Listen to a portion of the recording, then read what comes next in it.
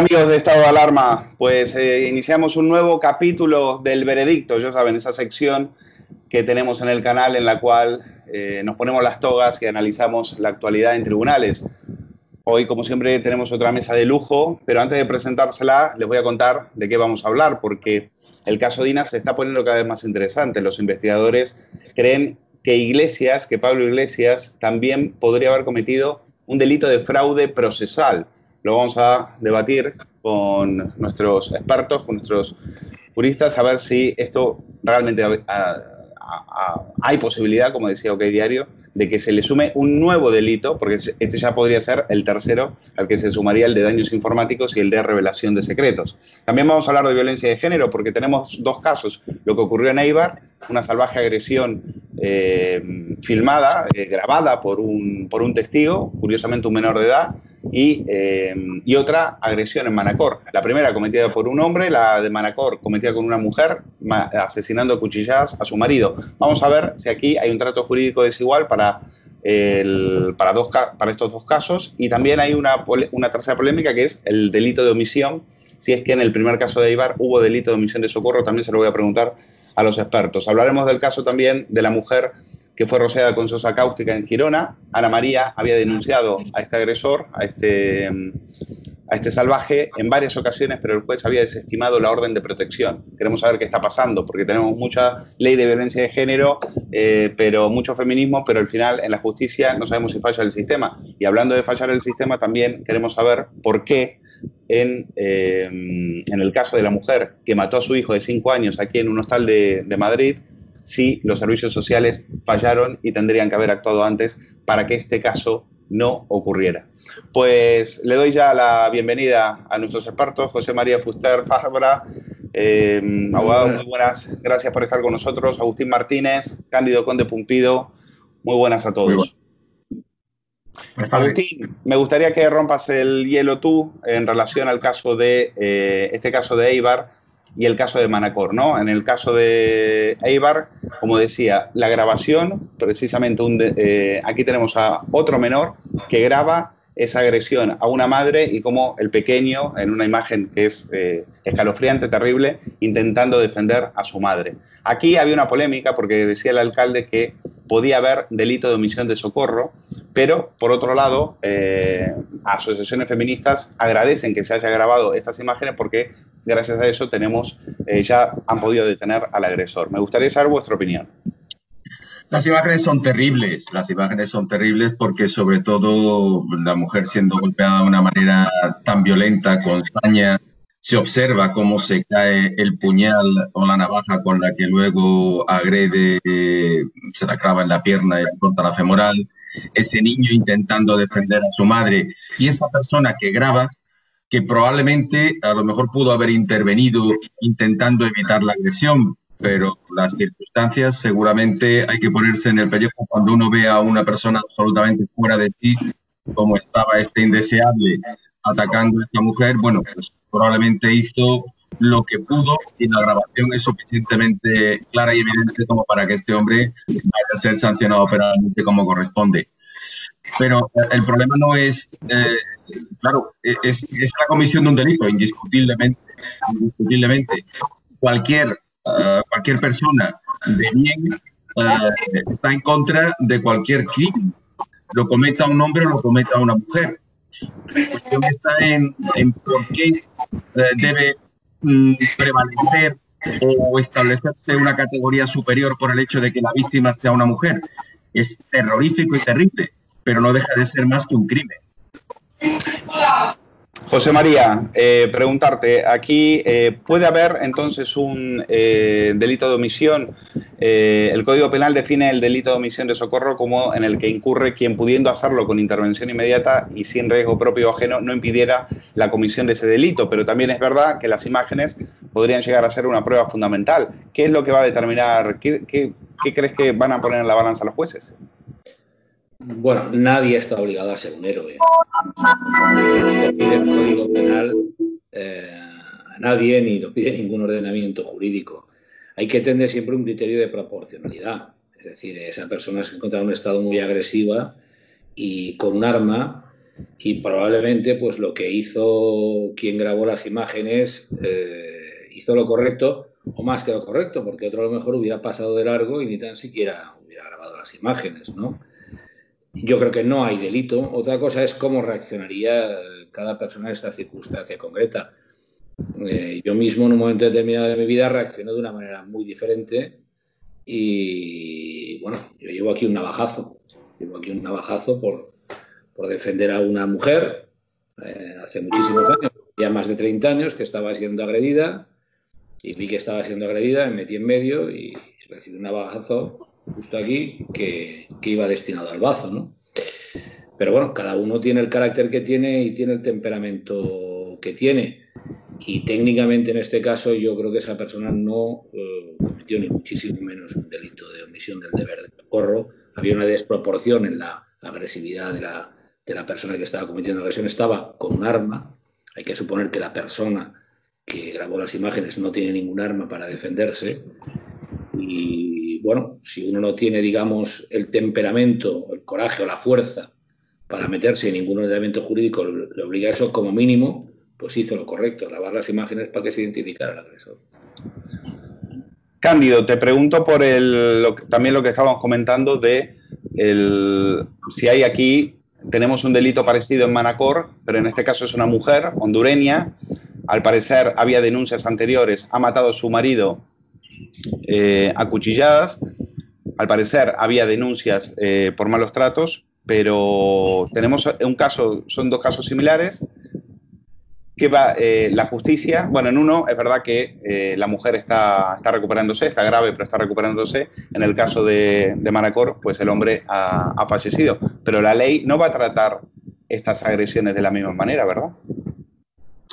No, bueno, lo primero yo entiendo en relación con el, caso que hablábamos sobre la grabación, que eh, no puede haber un delito de omisión, puesto que desde el mismo momento en el que el propio artículo te está hablando de una necesidad, de una posibilidad de actuación, decir que un menor tiene posibilidad de actuación y de haber impedido completamente sin riesgo para él, eh, es algo que es evidente que no es así. Entonces, no se le puede exigir algo eh, que, ponga incluso en riesgo su, propio, su, propia, su propia vida o su propia integridad. ¿no? Por lo tanto, yo entiendo que ahí eh, nunca podrás ver un delito de omisión y siempre se tendrá que agradecer que por lo menos se haya documentado para poder eh, eh, ir contra el agresor. Eh, luego también, en, relación a lo que me preguntabas, efectivamente no se va a tratar igual un tema que el otro porque en, en, uno de los, en uno de los procedimientos estamos hablando de una lesión, una violencia de género contra la mujer y en el otro, sin embargo, a pesar de que estamos hablando también de una situación de violencia de género, también puede haber eh, una situación de necesidad o de miedo insuperable y de, de, de defensa propia de eh, la eh, persona que pudiera haber sido agredida. En el caso del de eh, asesinato mediante una o, o, el homicidio mediante unas puñaladas, eh, cuando no estamos hablando del el hombre hacia la mujer, eh, sino de la mujer hacia el hombre, efectivamente puede tener un trato diferente ya simplemente eh, hasta eh, el procedimiento en algunos casos puede ser diferente. Eh, Agustín, si, volvemos a tener el caso donde en un caso va a haber mucha más repercusión mediática por tratarse de una mujer la agredida y, y, en el caso de Manacor pues habrá un poco de silencio informativo porque es una mujer, porque quizás, eh, bueno, se dice que hay eh, denuncias anteriores, pudo haber sido en defensa, en defensa propia, no lo, no lo sabemos, eh, pero puede haber un caso de, desigual, sobre todo en el tratamiento mediático. Hombre, eh, indiscutiblemente la fuerza de las imágenes en el caso de Eibar es impactante. Es obvio que normalmente es muy complejo y muy complicado tener una imagen en la cual tú veas cómo se está cometiendo un delito, cómo se está cometiendo un delito de tal gravedad y, y es muy desagradable. Ciertamente los medios de comunicación acaban poniendo el foco en los asuntos que bueno, pues que mediáticamente lo interesa. Yo muchas veces bromeo con la posibilidad de que haya una reforma en la ley de enjuiciamiento criminal, que haya procedimientos ordinarios, procedimientos sumarios y procedimientos mediáticos que se decidirán cuando eh, Ana Rosa y Susana Griso se sienten juntas y decidan qué procedimientos van a, denominarse mediáticos y a partir de cuál van a tener un tratamiento específico. Permitirme la, broma, la broma así considerada. Ciertamente, eh, decir que no existe un problema con la violencia de género, con la violencia machista, es mentir, es negarlo. Es cierto que existe un problema. Y es cierto que existe un problema que debe tener un tratamiento. La cuestión está si las normas eh, eh, procedimentales, las normas legales, hacen un tratamiento igualitario a todo tipo de violencia. El que se intente tratar de evitar la violencia machista es algo que mm, debe ser un objetivo estatal y objetivo de todos. Pero mm, pretender que cuando un señor eh, golpea a una mujer y la mujer, o perdón, cuando la mujer golpea a un hombre, la condena sean tres meses y cuando el hombre es el que la golpea a ella sin ningún tipo de daño, la condena son seis meses, es vulnerar un principio absolutamente constitucional que es el de la igualdad. Y eso lo ha consagrado ya el Supremo y la ley de violencia de género es una ley que ha pasado determinados filtros de manera increíble. Entonces, sí que tenemos un problema en relación con el tratamiento procesal de ese asunto. José María Futar Fabra, tu opinión. a ver, yo con matices estoy bastante de acuerdo con lo que, con lo que ha dicho el compañero. ¿no? Eh, en principio, por definición, la violencia es violencia y no tiene, no tiene apellidos. Es cierto que el ordenamiento jurídico en casos concretos ha recogido especificidades respecto a la violencia la violencia terrorista, que ha constituido tipos agravados, y en este caso lo que se ha hecho ha sido definir la violencia de género exclusivamente de una manera, la violencia del hombre hacia la mujer. Pero, y eso ha llevado, como dice el compañero, a una discriminación ante los mismos hechos. Ya no solamente eh, hablemos eh, de, estos, de estos supuestos en los cuales hay agresiones, es que no es lo mismo que un hombre le diga a una mujer en una discusión, oye, eres idiota, que que una mujer se lo diga a un hombre. El tratamiento jurídico es diferente, ¿no? Y sin embargo, es fruto de una, de, una, discusión concreta y determinada.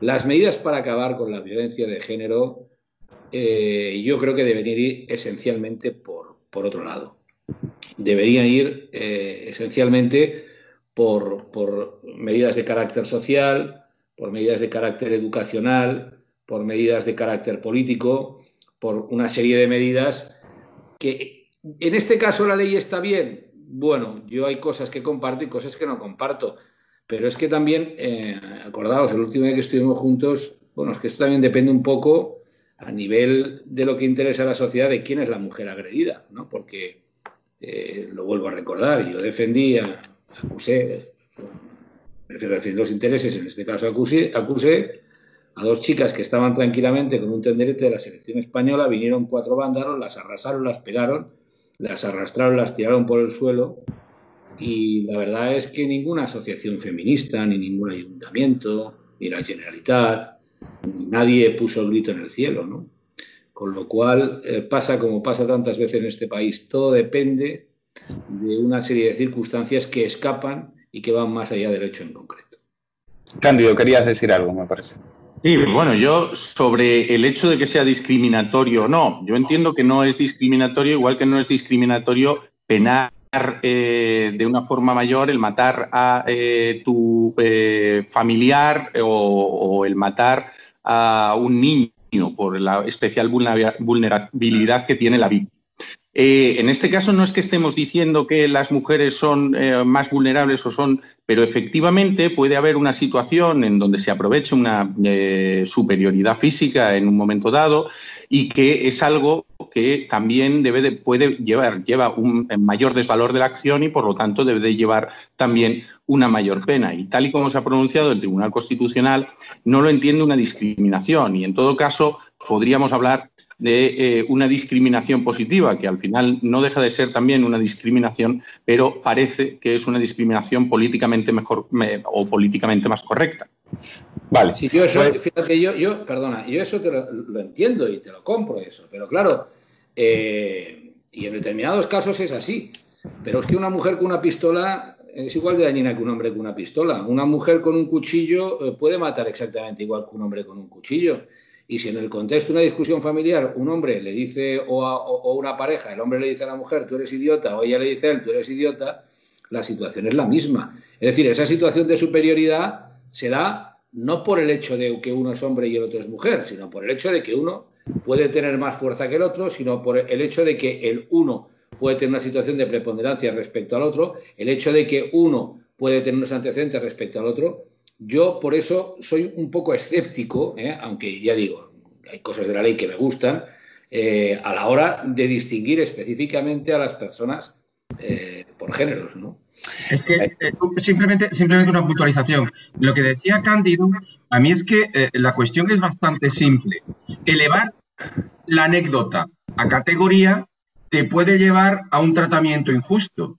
Y aunque la anécdota sean 800 anécdotas, claro que existe una violencia machista en un momento determinado en, en, el domicilio, claro que la existe. Y esa tiene que tener un tratamiento, claro. Pero crear una ley específica con un tratamiento genérico a todo varón por el hecho de ser varón, me parece un tratamiento injusto. Es decir, yo lo que no acabo de entender, por mucho que lo diga el Tribunal Constitucional, por mucho que lo acabe diciendo el Supremo, que eh, una pareja que no tiene ningún antecedente previo de malos tratos, en los cuales la señora le da un bofetón al marido y el marido le devuelve un bofetón, la ley considere que el bofetón de la señora vale una pena de tres meses de multa, de tres meses, y el del señor seis meses. Mire usted, se podrá poner en cruz el Tribunal Supremo y lo podrá decir el Tribunal Constitucional como estime pertinente. A mí me parece una barbaridad y me parece un disparate. Elevar. Entenderías que si fuera un niño, entenderías que si fuera un niño penaran más al que agrede a un menor que al menor por agredir a un mayor de edad.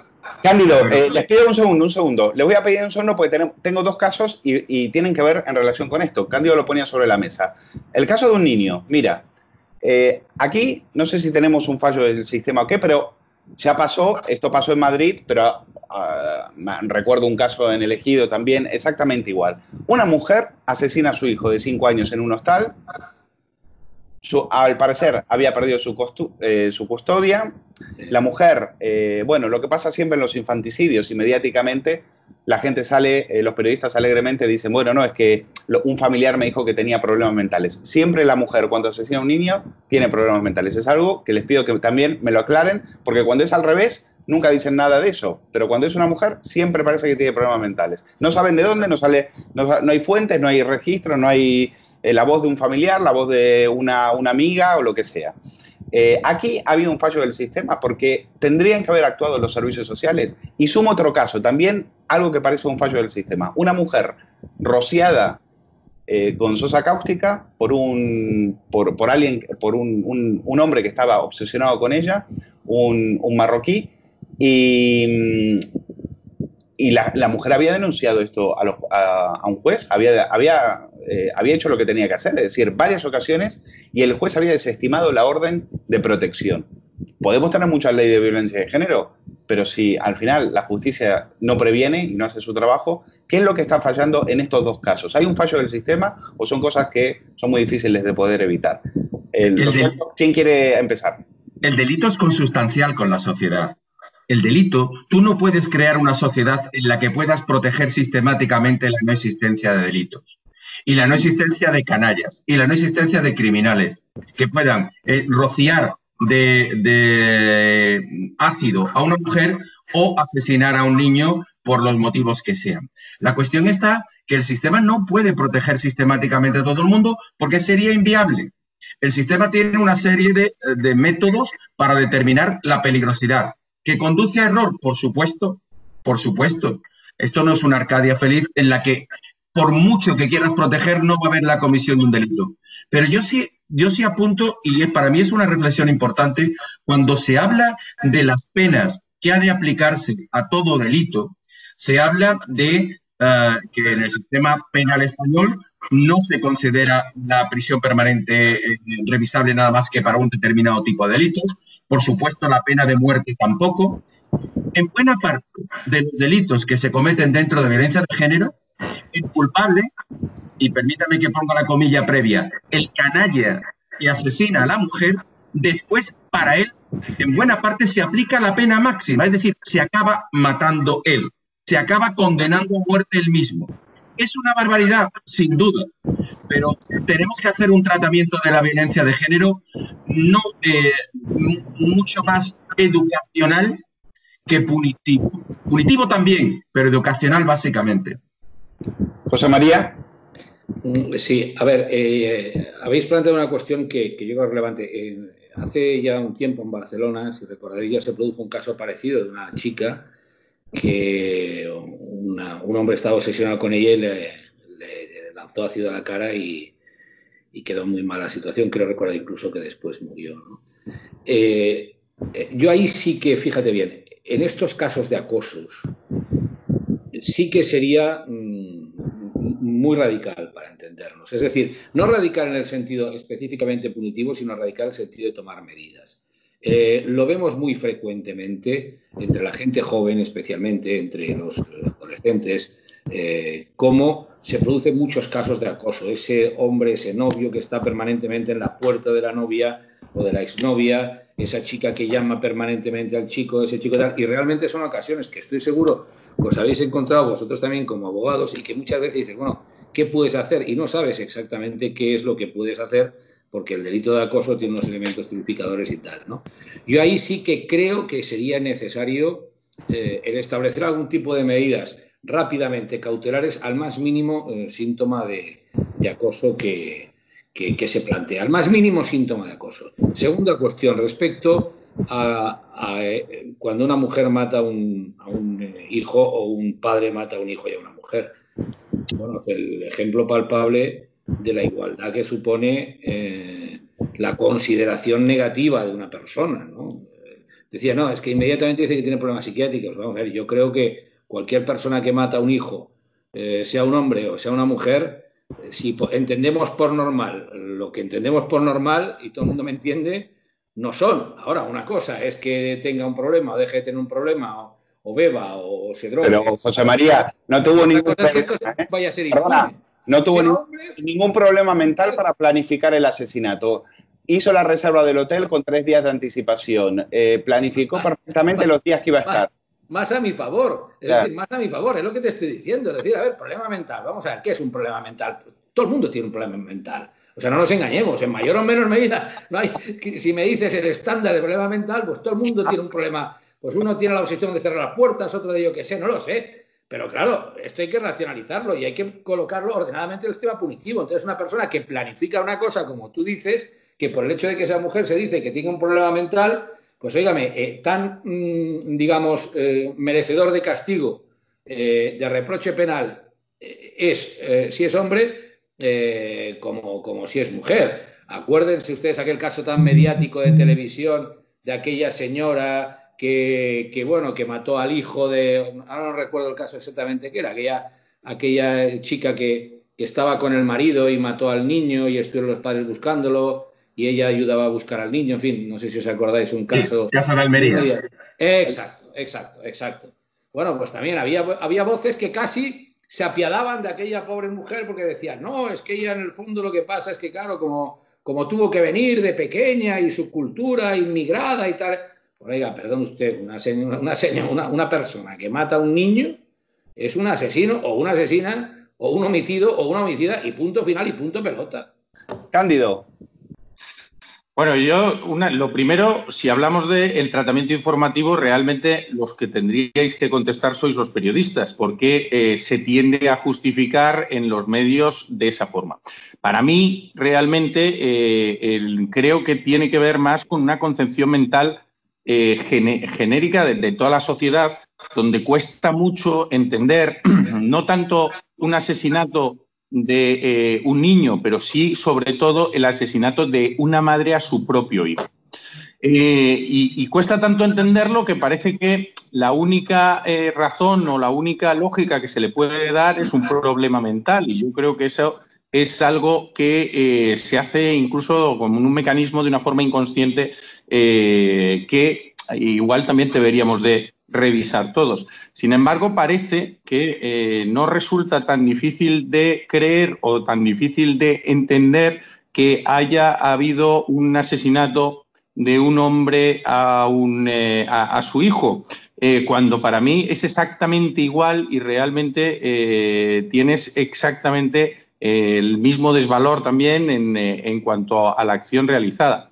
De todas formas, no estamos hablando eh, únicamente, o no, no, deberíamos de irnos únicamente a si ese, eh, si ese hombre eh, tiene o no tiene un problema mental y, yo, y al tratamiento informativo, sino yo creo que a lo que nos tendríamos que ir es al, al, tratamiento penal. Y en el tratamiento penal ahí sí que digo que es exactamente, o estamos exactamente ante la misma pena para el hombre que para la mujer pero Cándido, ¿los servicios sociales están actuando correctamente? ¿Está actuando bien? Eh, porque Agustín decía, bueno, no, no, hay, no podemos garantizar la justicia al 100% eh, para todos. Pero entonces, ¿para qué tenemos unos servicios sociales? Porque en este caso ah, se podría haber actuado antes, como en el caso de elegido, de la mujer que asesina a su niño asfixiándolo de 7 años. También los servicios sociales podrían haber actuado antes y retirar la custodia antes. ¿Por qué no se hizo? Una cosa es que tengamos unos servicios y otra cosa es que sean plena, 100% plenamente eficaces. Es decir, si tuviéramos un servicio de empleo 100% eficaz, no tendríamos paro. Si tuviéramos un servicio de vivienda eh, plenamente eficaz, nadie eh, estaría. Y los servicios sociales tienen los medios que tienen y no pueden estar eh, absolutamente en, en todo. Pero efectivamente, probablemente hayan fallado, pero probablemente es que no dedicamos los recursos suficientes a ello. Bueno, voy a pasar al caso Dina, pero no sé si, si quieren, eh, para rematar algún este tema, quieren decir algo más sobre, sobre esto. Agustín. Yo, a mí, hay una cuestión que, en este tema me, preocupa mucho y siempre me ha preocupado y que nadie lo vea, porque aquí siempre se tiende a que cuando se quiere se, se da una explicación o se da, sale de lo que es políticamente correcto, que determinadas personas han decidido que es lo políticamente correcto, parece como que se están dando justificaciones. Creo que buena parte o algunos, dejémoslo en algunos, de los problemas que se están derivando de violencia de género se solucionarían si los procedimientos matrimoniales tuvieran un tratamiento completamente distinto. Es decir, eh, no mm, me resisto a decir todos aquellos varones que han sufrido o que sufren y padecen en juzgados de familia un tratamiento absolutamente discriminatorio a la hora de defender sus intereses y que después pueden dar pie a que tengan reacciones absolutamente injustificadas, pero que pueden partir de situaciones de desamparo por parte de los juzgados de familia. Creo que el problema de la violencia de género es un problema que hay que atacarlo desde la infancia, que hay que educación, más educación y más educación. Y un tratamiento personalizado en los problemas de familia mucho más abierto. Custodia compartida, más posibilidades. Los niños no son de las madres, los niños son de las madres y los padres y ambos tienen que tener el mismo derecho y acceso a los, hijos. Todas esas situaciones acaban generando crisis que en algún caso acaba generando violencia de género y es muy lamentable. José María, vi que te sonreías mientras hablaba Agustín. No, sí, porque a veces eh, es verdad que esto ha dado lugar a, situaciones de, abuso respecto a algunos hombres y todos conocemos casos ¿no? de, en los cuales eh, lo que se pone es una barrera frente, frente al hombre, en los cuales en ocasiones, eh, bueno, mi hermana es una matrimonialista muy conocida, ha llevado hombres y mujeres, entre ellos algunos personajes famosos, ¿no? Y ya me ha contado más de una ocasión cómo a veces, incluso por el caldo social que hay, eh, una mujer le dice, ¿y si digo que me ha pegado? ¿Y si digo que me ha insultado? Esto, a ver, me lo contó mi hermana, que es mujer y matrimonial. Claro, la mujer le dice, pero claro, diga usted barbaridades, ¿no? Ah, claro, es que me han dicho que si digo que me ha pegado, si digo que me insulta, entonces ya vamos a un juzgado diferente y ahí me dan unas medidas cautelares que tal y que cual. Esto mm, me ha contado mi hermana que se lo han preguntado clientes. Eh, lógicamente mi hermana nunca va a caer en esto, pero a lo mejor hay otros abogados que tienen menos principios que ella y le dicen, oye, pues di que sí, que tal. Oye, a lo mejor no digas que te va a asesinar, pero sí que di que el otro día te levanto la mano y ya cambiamos el procedimiento. Tiene razón un poco el compañero lo que dice. Eh, yo creo que nos hemos ido un poco de un extremo al otro. Y, y otra cosa que tiene razón es que los hijos, a ver, es que si de verdad estamos hablando permanentemente de igualdad, somos iguales los padres que las madres. Entonces, iguales en derechos, en obligaciones, en responsabilidades, en absolutamente todo. Eh, una persona no es mejor madre por el hecho de ser mujer que un padre mejor padre por el hecho de ser padre. Entonces, eh, muchas veces en este caso hay una discriminación no positiva, sino negativa hacia el hombre. Eh, claro, de ahí a dar el paso a la violencia de género. No, no, no, no, no, no, ¿no? Pero, pero claro, es que se debería, igual que, que, se corrige y que se ha pretendido con la ley de violencia de género, que en algunas cosas tiene buenas y otras malas, corregir eh, una situación en la cual el hombre actuaba con cierta superioridad, pues oiga, empecemos también en los juzgados de familia a considerar realmente iguales respecto a los hijos, a los hombres que a las mujeres. Es verdad que la maternidad, la mujer lo lleva dentro, es un sentimiento, es lo que sea, pero cuidado a la hora de educar y a la hora de responsabilizarse, yo creo que los deberes son los mismos. Cándido, remátalo tú y vamos al caso Dina. No, y además hay, hay una cosa que sí que se ve y cualquiera que haya llevado temas eh, de estos lo ve muy rápido. Eh, una cosa es eh, la, demanda de igualdad en cuanto a responsabilidades durante el matrimonio y otra cosa es el sentimiento de la mujer cuando piensa que tiene que dejar a su hijo y dejar de estar con él. Es decir, no es completamente eh, diferente la posición en la que muchas veces se ponen, eh, desde lo que exigen en durante el matrimonio y lo que eh, defienden una vez. Primero es, oiga, no, es, el, hijo es de los dos y tenemos que cuidarlo los dos a partes iguales, pero si nos vamos a separar, yo soy su madre. Y yo soy y yo estoy más capacitado para cuidarla y yo, claro, es una dicotomía imposible, o lo uno o lo otro, pero no se puede ser las dos cosas a la vez. Em, y además, luego hay una cuestión que también eh, puedo estar bastante de acuerdo con eh, los compañeros y es eh, desde el punto de vista em, meramente estratégico en un procedimiento, en, una, en cualquier diferencia, en cualquier que va a llegar a juzgados, tienes que tener una estrategia. Y si tú le hablas a una persona de que, mire, si usted se quiere separar de su pareja o puede eh, eh, estar hoy aquí eh, y, y, decidir que se separan, pero no abandone la vivienda, continúe viviendo allí durante por lo menos seis meses hasta que haya unas medidas cautelares y mientras tanto, si usted tiene, tiene, y si no tiene, pues no tiene, porque no, va a haber una compensación económica, ni va a haber absolutamente eh, una pensión de alimentos, ni va a haber absolutamente nada. O eh, en caso de que eh, eso quiera que sea más inmediato, puede ir usted directamente a una comisaría, denunciar hoy mismo y en vez de tener que estar esperando ese tiempo, se lo sacarán hoy mismo, habrá en, tres, en 72 horas una vista sobre, sobre medidas y ya quedarán fijadas las medidas de alejamiento y las medidas cautelares y se puede usted ir eh, eh, a casa hoy, denunciarlo y a la mañana siguiente ya no lo tiene. Pues claro, desde, desde la perspectiva de una mujer, ah, y si usted no tiene papeles o si usted no tiene trabajo o si usted no tiene, además encima tiene además una serie de eh, ventajas como que puede recibir, la, pueden colocar, le pueden dar una ayuda y además le dan una ayuda psicológica que necesitaría probablemente todo el mundo en una ruptura de estas, pero que solo eh, se da en casos de violencia doméstica.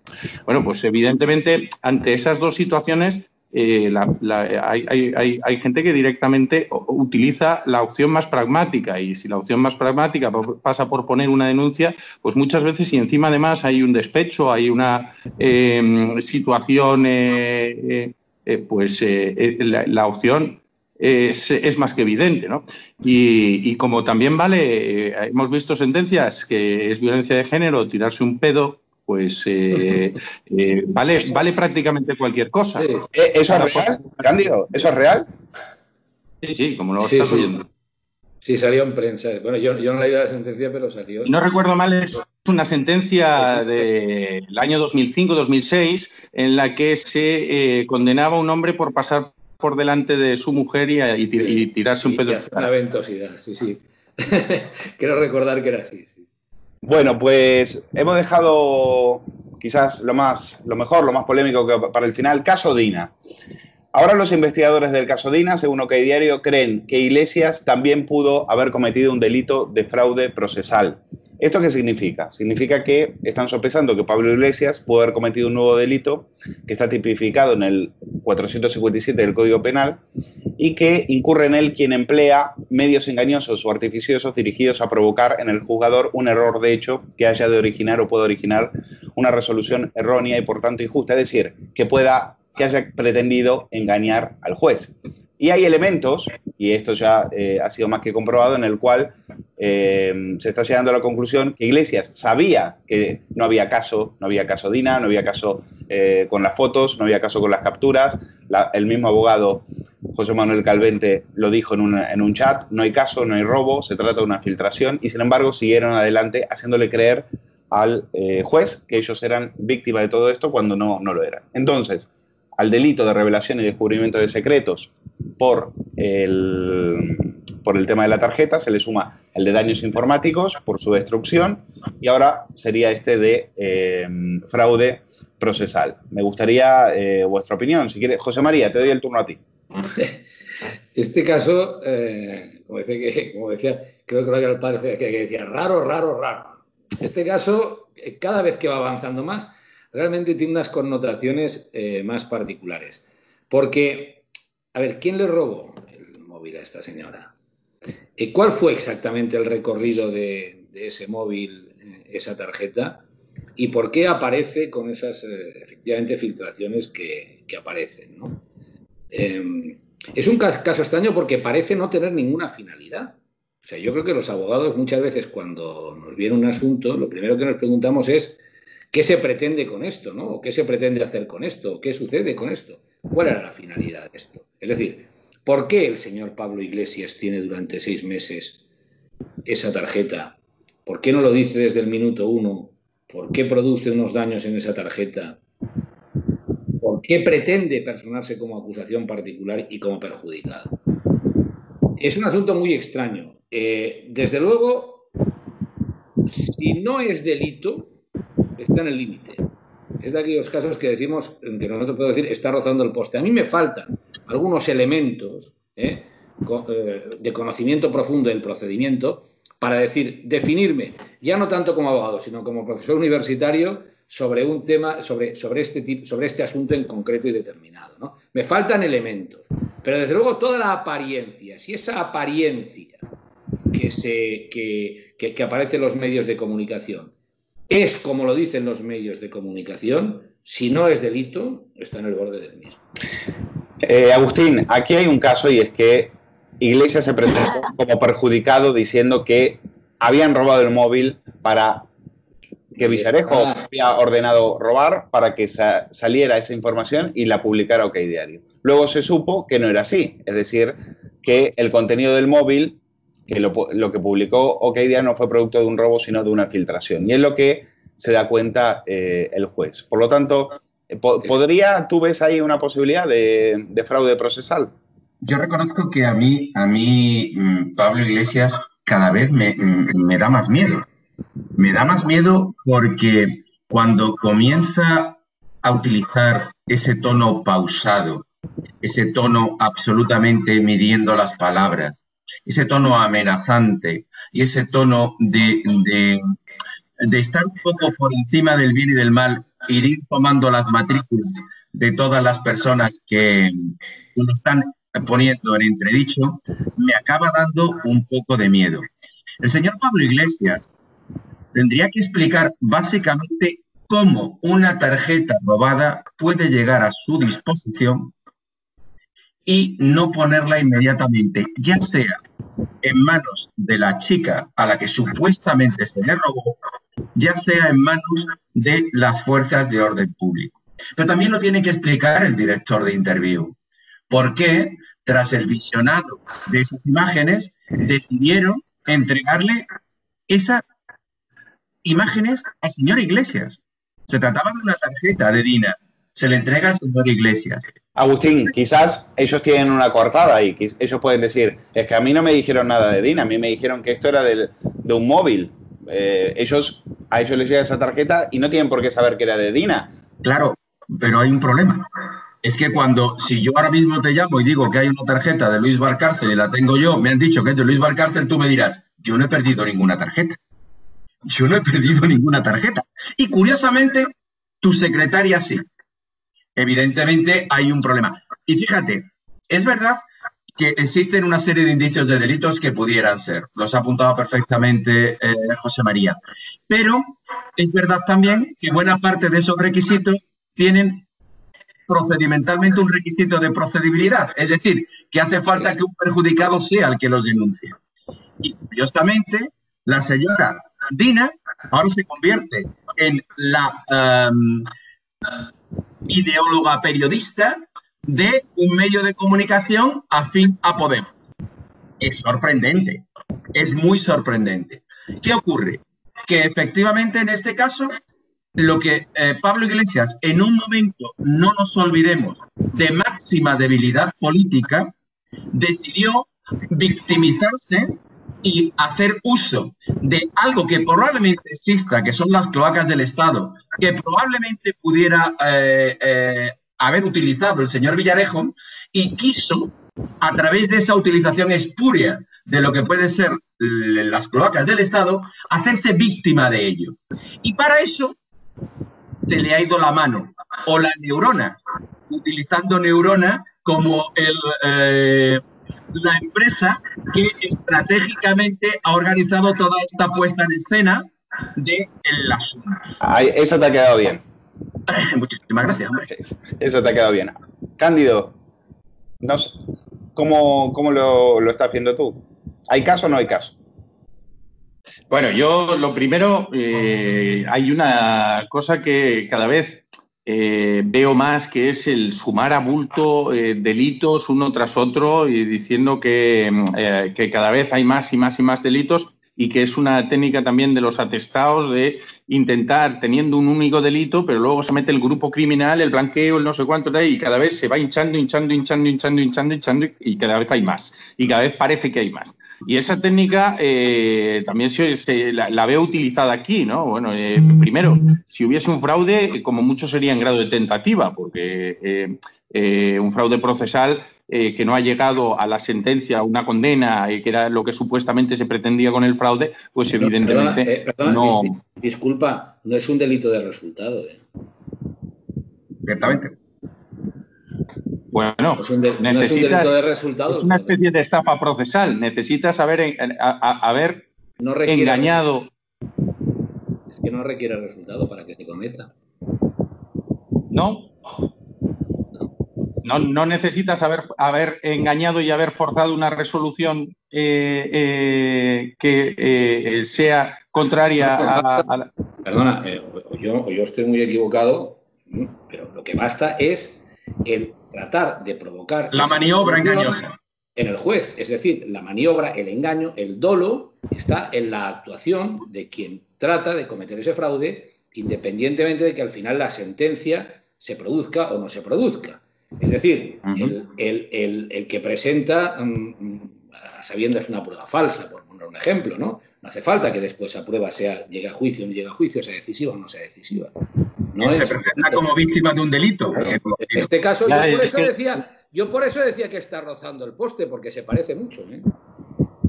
Bueno, pues ahí habría, ahí habría caso. Eh, Cándido, que continúa porque... perdona, perdona, que te haya cortado. Más allá de esto... Nada, nada. Bueno, ahí en, el, el, tema es que es lo que sí que es innegable es que, porque decían, no, es que esto no era Villarejo el que, el que había robado esto. Bueno, pues independientemente de que pudiera ser la publicación unas filtraciones, lo que es innegable es que en el registro que se practica eh, se le encuentra y se encuentra en su despacho y se encuentra el contenido de esa tarjeta. Pero por lo cual, porque la, pero no porque la haya robado, sino porque le da una copia a Alberto Posas, que era el director de Interview. Y, esa, y ese material lo tuvo seis meses después de eh, Pablo Iglesias. O sea, está comprobado que Pablo Iglesias tenía ese material desde antes que lo obtuviera, que lo obtuviera Villarejo, con lo cual está claro que todo esto había sido entonces, un entonces, eh, entonces, entonces ahí tenemos también otros delitos, porque entonces el director de interview se queda con una copia, que es la que luego entrega Villarejo. Efectivamente. Y, y, ahí tenemos, tenemos toda una serie de, de, movimientos que parece que son todo, todo, todo muy extraño y todos muy delictivos y cada vez se va hinchando y hinchando y hinchando y hinchando más. Y si la propia perjudicada ni siquiera denuncia un delito o no ejerce acciones contra ellos, pues eh, difícilmente lo vas a tener. Es que le acabas de regalar un digital, como decía Agustín. ¿Cómo lo, cómo lo... Pero fíjate, fíjate qué curioso, fíjate qué curioso que eh, eh, en relación con la posibilidad de un delito de daños informáticos, en su primera declaración, esta chica dijo que la, la tarjeta se la habían entregado destruida para posteriormente, para evitar ese delito informático, este delito de daños informáticos, dijo, no, no, la primera vez me llegó bien y después se estropeó sola. Es decir, aquí lo que se ve claro es que esto acaba siendo una estrategia política perfectamente establecida por eh, una mente pensante y que ha decidido seguir un criterio. Pero se han encontrado con un juez que les ha ido desmontando, quizá por la torpeza en un determinado momento de las personas que forman parte de, este, de esta trama, y se les ha ido cayendo un poquito el edificio. Y al irse cayendo el edificio, les está mm, eh, haciendo caer en la posibilidad de determinados tipos, tipos penales en los cuales podrían tenerse que acabar viendo involucrados. Bueno, si yo, no, yo, no digo que haya un delito u otro delito, o el delito de medio, un carro de delitos o uno o dos, pero desde luego es una actuación realmente muy extraña. Eh, después, saber en qué tipo penal encaja y claro, aquí es un poco lo que decíais todos. Lo raro es que el supuesto perjudicado está al lado del supuesto, digamos, entre comillas, perjudicador o el que comete el hecho, y primero dice una cosa, luego dice otra, luego ahí hay un entramado extraño de abogados comunes que la víctima y, quien aparece como acusador particular tiene el mismo abogado, con lo cual, claro, todo esto mm, es un... Pero es que, yo, José María, es que es curioso, porque al final, perdona, al final es que supuesto, mm, supuesto actor del tipo delictivo y supuesta víctima forman parte de un mismo engranaje para obtener un resultado común, con lo cual esta situación de estafa procesal pueden haberla cometido ambos, es decir, incluso estaríamos hablando de, pero de verdad hubo robo. Acaba siendo todo especialmente complejo. Lo que sí me, vamos, lo que sí desearía eh, como español, no es un gobierno al que yo he votado, pero no deja de ser mi gobierno, espero que Pablo Iglesias sea más hábil representando a España que eh, metiéndose en berenjenales judiciales, porque metiéndose en berenjenales judiciales ha demostrado ser un poco torpe. Bueno, eh, criticando a periodistas lo borda. Me he, quedado, me, he quedado sin tiempo. Les agradezco muchísimo. Agustín Martínez, José María Fuster Fabra, Candido Conde, gracias por haber estado con nosotros en estado de alarma. La semana que viene, otro capítulo más de El Veredicto. Gracias por todo. Abrazo Barcelona. Un abrazo desde Barcelona, compañeros.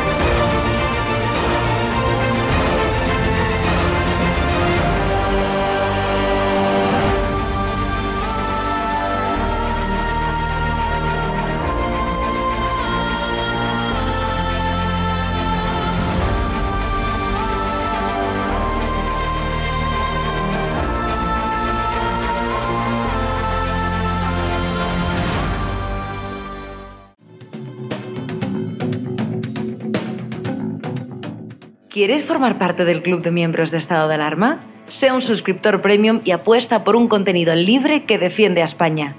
Te damos varias opciones. Echa un vistazo a las distintas categorías y dependiendo de la aportación que desees hacer, elige una. Con eso aportarás a que sigamos pudiendo crear este contenido. De parte de todo el equipo de estado de alarma, gracias por tu apoyo.